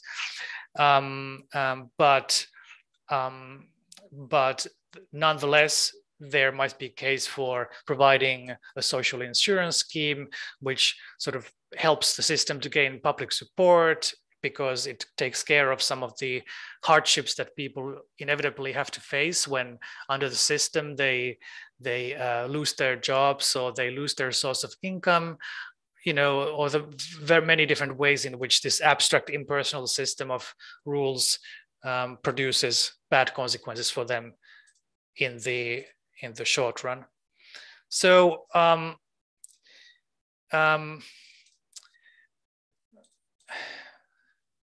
So, um, so now let me get close to, to my conclusion here. So why would someone like Milton Friedman or Friedrich Hayek support something like basic income? Well, like I said, it's a matter of understanding that um, if you want to have redistribution uh, from the from the point of view of of, of facilitating uh, market transactions, facilitating uh, innovation, and facilitating the flourishing of social social welfare, um, on the basis of the free and open society, you want to have the rules of redistribution be designed in ways that support individual freedom, both social freedom and economic freedom. And so, for example, Friedman argues that um, if there is to be a program to alleviate poverty, it should be directed at the poor, not at you know this interest group here, this interest group there, not to farmers, students, and so on, but to everybody to have the same rules for everybody, to minimize privileges, and to grant the same rights of, to freedom to everybody. Um, and therefore, something like basic income might be a good way to do that and also to substitute for a wide variety of programs. And this is what differentiates libertarian arguments from many others. They argue that the basic income should be used to substitute for most, if not all, of the existing subsidies to various groups like farm subsidies, student subsidies, uh, minimum wage laws, uh, tariffs, uh, professional licensure regulations, and so on, and um, and, um, and and therefore be a, a, broad general substitute for the existing welfare state measures. Um, and of course, it supports it, it supports the market system in also the way that, as Hayek emphasized, the price system with its capacity to convey signals to people uh, is very good at um, at uh, um, taking advantage of local and dispersed knowledge. And this is the famous argument of, of Hayek for the epistemic properties or the knowledge producing properties of markets. And therefore, something like basic income respects the price system because it gives people cash, which they can use on whatever they want. It gives them the freedom to, to experiment, to innovate, to deviate from established norms and to pursue different lifestyles or to pursue different um, uh, consumption patterns or production patterns in the economy. Um, so it, is therefore very clear and transparent and supporting of the market. This is what the Ordo liberals have called mar market conformity or conformity to the market and competitive order.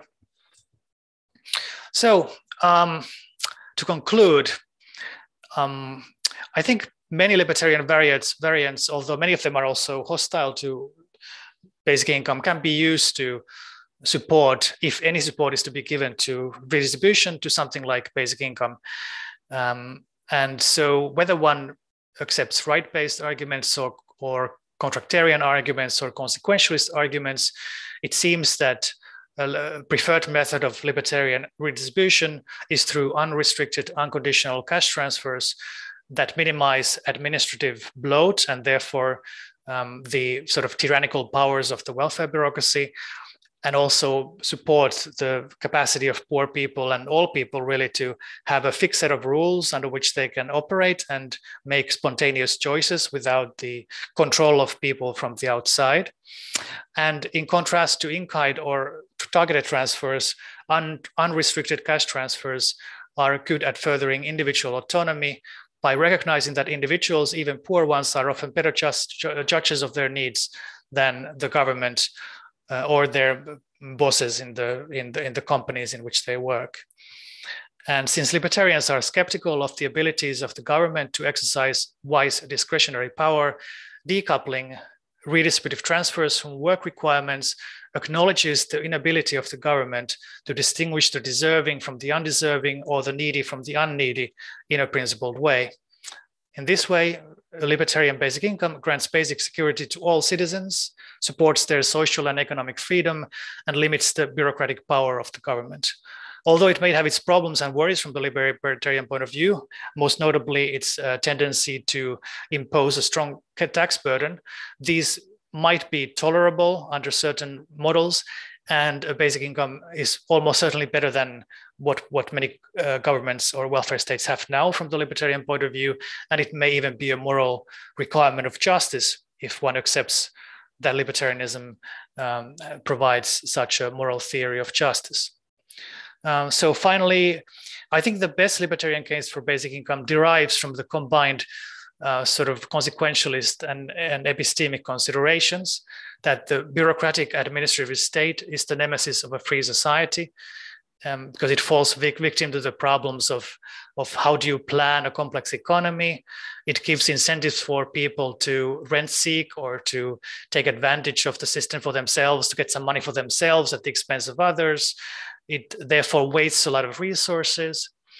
Um, and it also gives power to people to th- who think that they can rule over others. Um, to to control the lives of others and to micromanage the lives of especially poor people, which is the antithesis of a free society. Uh, it seems that the freedom of poor people is not sufficiently respected in today's society. It is unfair that some people, whether it's welfare state bureaucrats or business owners, have excessive freedom over others to command them to do their bidding. And the social safety net, therefore, from this point of view, should be designed to support, not undermine individual freedom in the marketplace and in the civil society, which requires giving people unconditional cash payments as the best available option. So I think I will leave it at that. Um, and um, I will put on, on the screen uh, a hopefully helpful sort of um, summary of, of what I have argued here, which goes through some of the most important rights-based and consequentialist libertarian arguments. So it doesn't introduce any new ones, but it simply summarizes what I have discussed here so far. But with that, I will conclude. So thank you.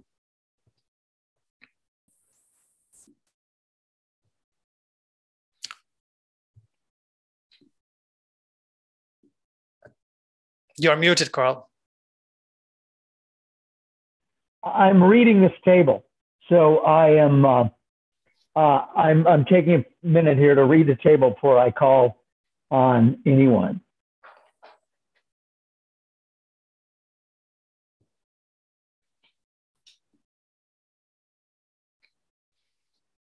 All right. Um, uh, I believe uh, Chawanan has yes. uh, prepared some comments. Please go go ahead, Chawanan. Yes, thank you very much, Otto, and thanks for your sharing. Uh, I have two points to discuss according to the paper on libertarian perspectives on basic income.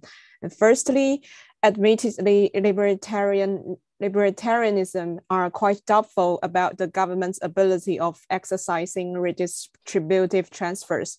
Also, the government's failure to recognize the individual's need of ca cash transfer. But what if people are confronted with some emergency situations, such as natural disasters, terrorism, or conflicts? In these cases, government need to do their job by the means of emergency cash transfer. So my first question is, to what extent would the UBI scheme would help ensure individuals' life safety or property protection, and by which way? And secondly, in the uh, according to the paper, I noticed that uh, uh, by by the contract contractarian theories, uh, which you haven't mentioned in this presentation, but it doesn't matter. I noticed that uh, the safety nets mentioned by the contractarian theories uh, supports the idea of redistribution because the safety nets, which is similar to the network of forced hypothetical exchanges, as you have mentioned in the paper, uh, it makes Pareto superior move to a well-off or even better off level for each person than he was with natural endowments. So which indicates that we also need governmental redistribution to convince the low endowment people to accept a social system with strong property rights. Uh, that's that's my that's my uh, that, that that's what I have uh, uh, understand from your uh, from uh, reading your paper. So this idea conflicts with libertarianism or proponent's idea, uh, as I have mentioned above. So the second question is uh, whether a wider UBI scheme should include a safety net system, as as it has mentioned in uh, by the contractarian theories. So that's my two points I would like to raise up. Yes, thanks. Oh, thank you very much.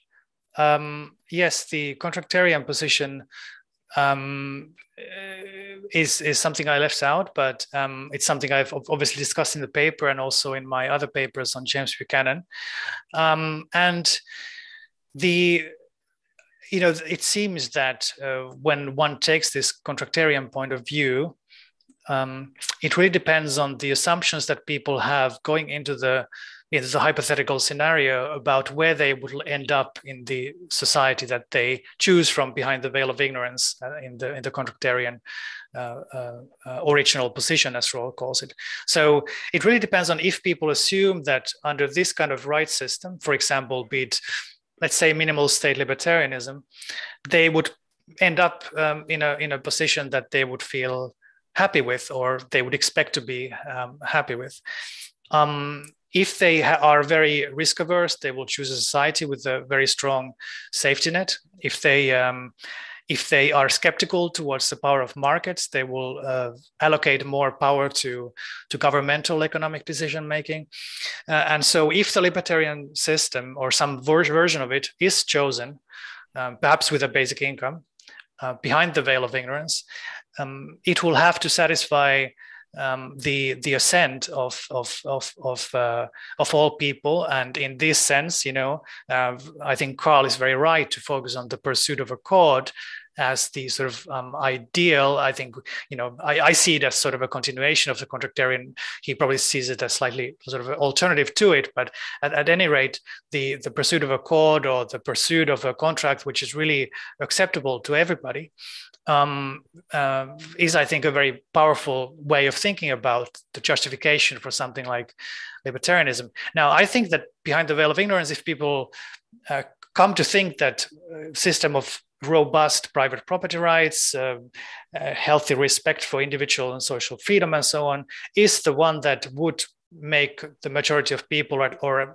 in the ideal case, everybody better off, that's what they would choose. And if they have something like a basic income as a support system, I think that would be a, a way to, in a way, buy people's assent or to get more and more people signed up for the system if they realize that even if things go wrong, they have something to fall back on. Okay, so that's that. That's my answer to the question of social contract. And now let me uh, briefly discuss the question of emergency measures and and and how to deal with crisis. Now, this is something I have written about in a recent paper, which I highly recommend you read, uh, available in open access if you Google it, uh, which I think is called Permanent Crisis Management, the Rule of Law, and Universal Basic Income.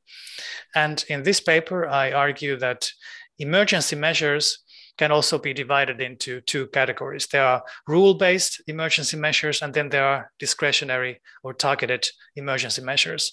And if we have something like basic income in place, that constitutes part of the rule-based res- crisis responsiveness of a society because it corresponds to an automatic rule-based uh, uh, safety net or support mechanism for people who who happen to fall through um, uh, tough times.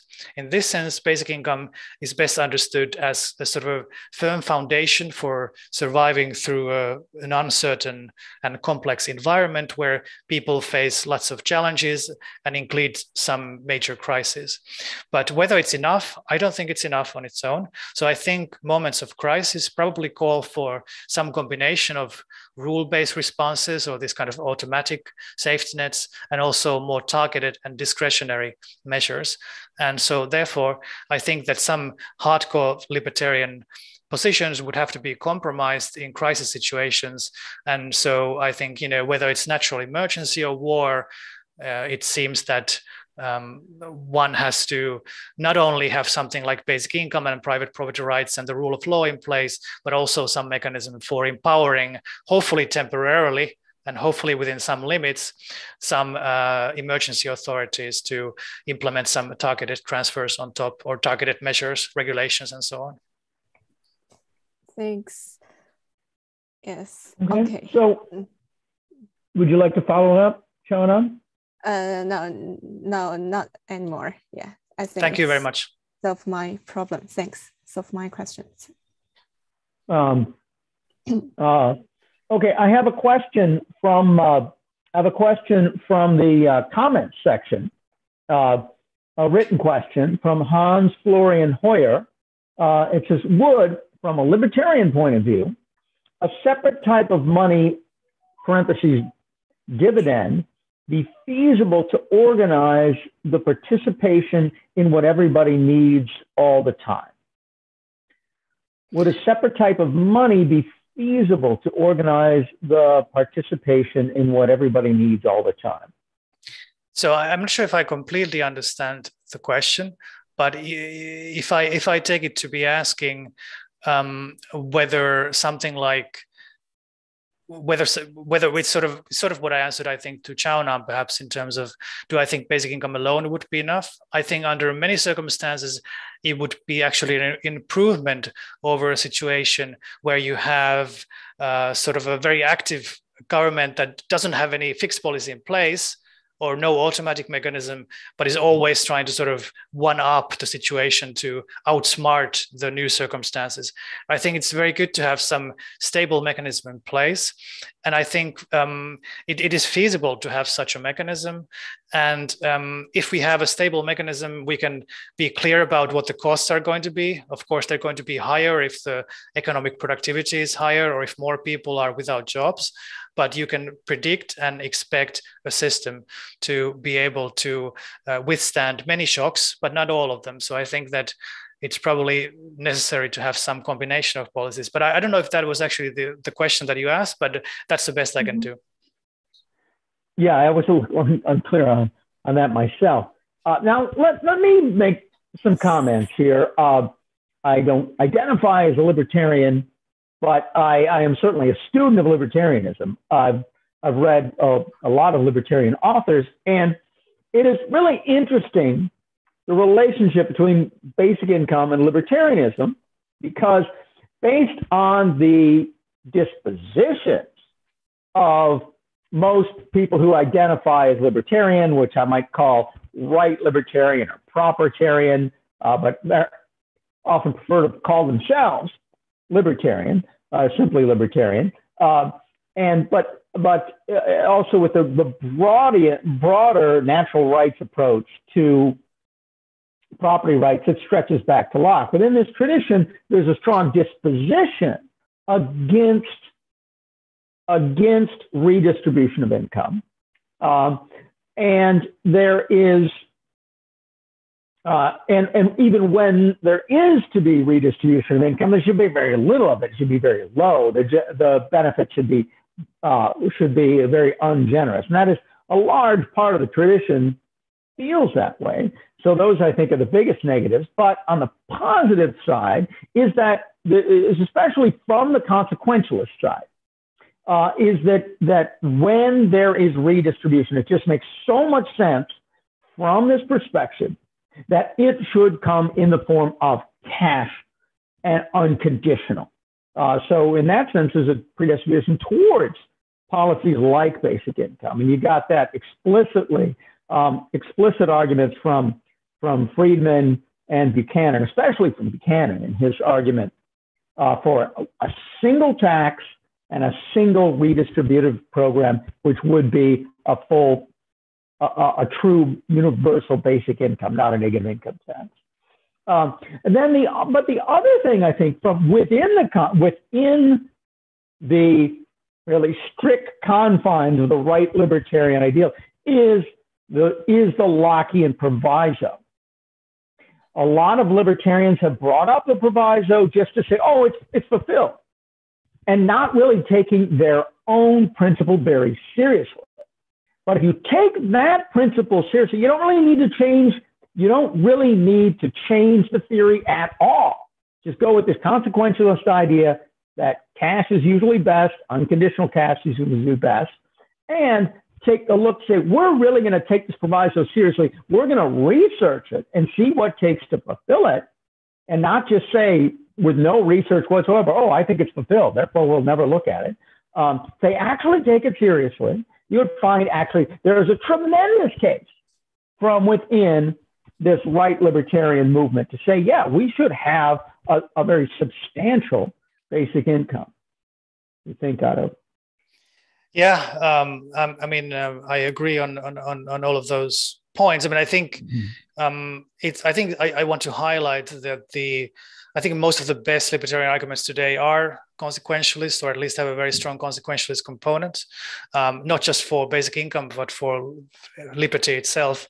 Um, and so, I think the the emphasis on rights-based arguments you know this as a mm-hmm. consequentialist this is my prejudice but has been detrimental to the discourse um, but um, if um, I think the I think the important thing here is that both consequentialists and so-called deontological or rights-based um, um, libertarians would see that rights are important. Uh, it's just that one of them mm-hmm. sees rights as innate or natural, and the other sees them as either conventions or social constructs or the results of a social contract. And, um, and so there's a big difference between seeing, for example, a regime of private property rights as being natural uh, in which case very little can be done to, to violate it, or being a sort of social construct, construct or, or social convention. If you see them in conventional terms, as David Hume does, or Adam Smith does, or Friedrich Hayek does, then there's much room for thinking about what the precise form of the system of rights and system of liberty should be. And that also opens up the debate for something like basic income much mm-hmm. more naturally. Mm-hmm. Now, uh, it's interesting that you, to me, that you brought up well, my theory and how it fits in with this, and I think you you got it correctly that uh, I position myself and think of myself as a critic of both contractarianism and libertarianism. However, my criticisms of both of them tend to be internal criticisms. So saying not that there's anything wrong with these principles, that the idea of minimizing minimizing negative interference with people is a very good ideal, but that it's not being delivered by these so-called libertarian mechanisms as envisioned. Uh, and we have to do something else to deliver it. And so now, but but on, and on that side, I could consider to to be considered to fall within the libertarian camp because I believe that it is possible to deliver something. It is possible to deliver a lot more freedom than we have. However, uh, that makes me outside of the camp because I reject some of their their primary their primary ideas of how we should go about it. That that private, specifically private property rights, is going to envision this with very little uh, regulation or redistribution. And I really reject those ideas. And I think really libertarianism is defined more by that disposition towards these policies than it is towards a commitment to the principles that supposed, so supposedly underlie it. I don't think that Cohen was right when he said that those deep principles were where the action is. I think where the action is is what policies people envision. Um, and the principles, they're often trying to cook those to get the policies that they want. So in that sense, I'm a big, uh, I, I'm a, I reject the libertarian tradition. I don't identify as any form of libertarian. However, there are people from within the tradition, such as uh, Kevin Carson and, and, and Roderick Long, who I find myself agreeing with all the time, even though they're still using this name. And they're making some of the same criticisms I am of the center. They're still using this term.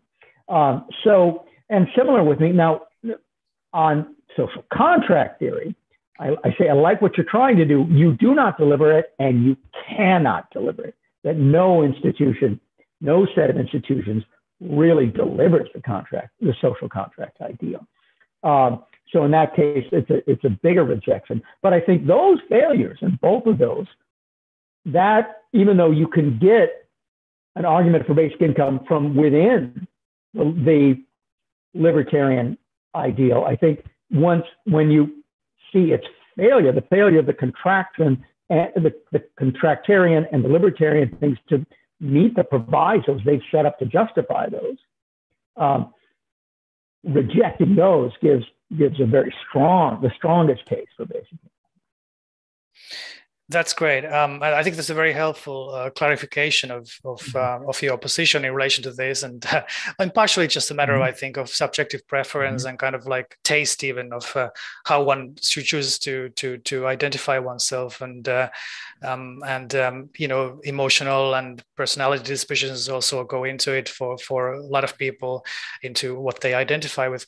But you know, um, I, th- I think the I think you you are right in saying that libertarianism today is not just commitment to um, uh, to lack of negative uh, interference, but it is almost always correlated with an empirical assessment of the types of institutions under which those principles are best um, uh, justified. Now, I don't think this is a necessary one. I think I think we should be moving in the direction where we actually um, go deeper and just uh, um, and, and, and think about very freely about what those institutions might be. So, you know, I, I, think that, for example, if somebody could convince me that a system of based primarily on community property or public property would have better consequences for for not just public welfare but also individual freedom, then I would um, I would support those. And I and and and I also do support. I do. I have to have to say support a system which is a mixed system,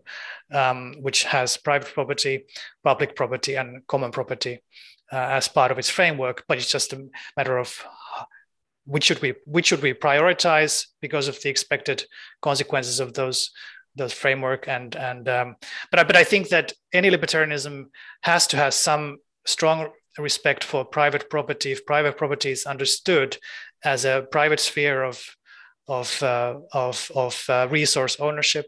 And in this sense, I think even even your uh, model has uh, has the basic income um, as as the private property of the people who have it, uh, because they they have the right to exclude others from from access mm-hmm. to to it.